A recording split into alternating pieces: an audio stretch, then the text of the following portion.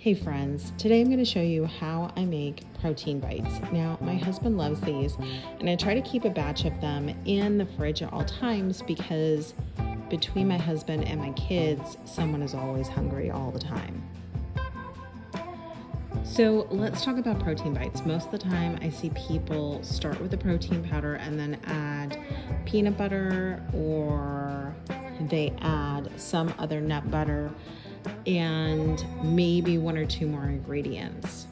So the deal is that I really don't love protein powder and I think that they can be really gritty.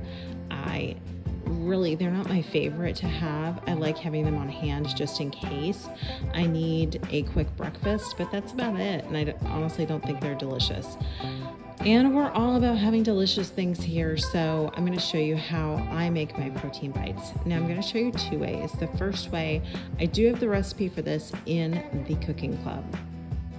So, if you have not heard of Victoria's Kitchen Cooking Club, so every month I share with you four recipes and tutorials, but also we have a live cooking class at the end of the month. So, this month we're making tomato soup and grilled cheese sandwiches.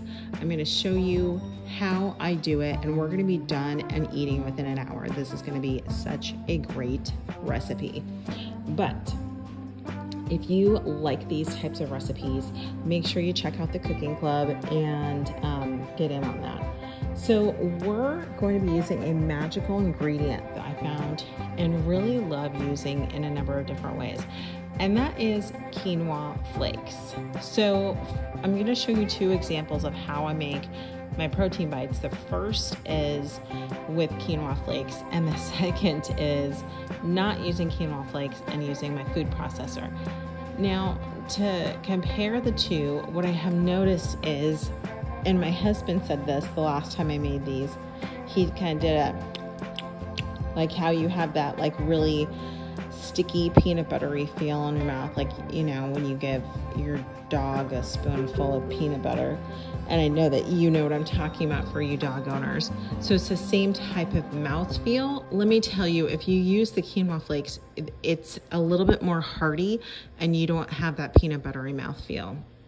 So we're just gonna add our nut butter of choice and we're gonna add our quinoa flakes. You can get really creative here and you can just add a little bit of honey, maybe some baby chocolate chips, maybe some baby white chocolate chips. But the lovely thing about these recipes is that you can add whatever you like. And if you're wondering where to get quinoa flakes, I'm to put a link below to Amazon. This is the brand I've purchased in the past.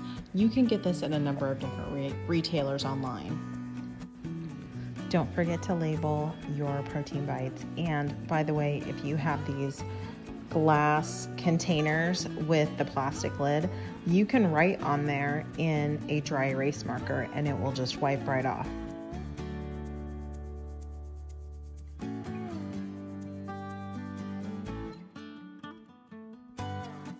So the second way that we're going to make protein bites is with our food processor.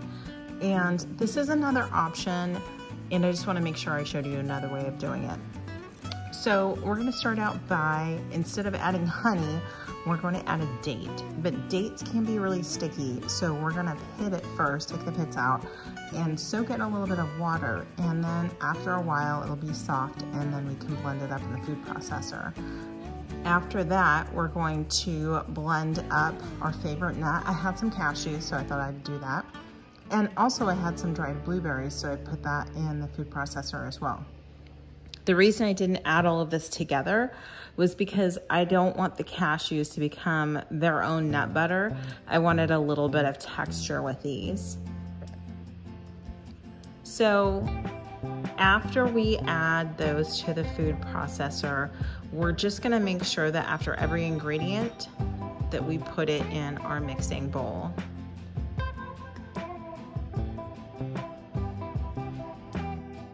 And just a reminder, use whatever nut butters you have on hand. I usually have almond butter and peanut butter on hand.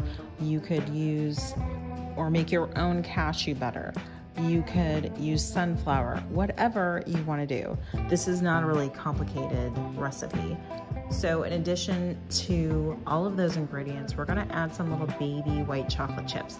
And I think they add a little bit of character to these protein bites. And then we're gonna do the same thing. We're gonna roll them up and we're gonna put them in a container in the fridge. And that is all folks. That is the easiest way I could think to make a protein bite and make them without the protein powder because like I said, they're not my favorite.